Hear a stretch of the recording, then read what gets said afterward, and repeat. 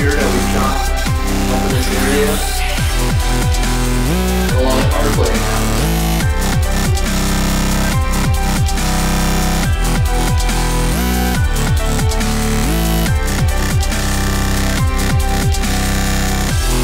It's about 8.30 in the morning.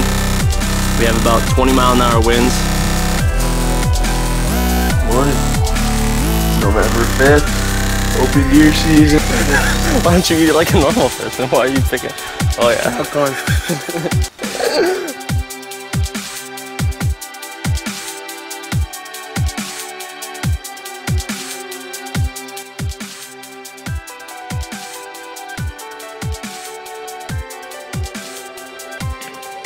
A family of hunters brought together by the northern Minnesota wilderness. With good luck and a little help from our friends along the way, we will be able to share our great experiences with the community. Through our lens, we can truly show you what it means to live in northern Minnesota.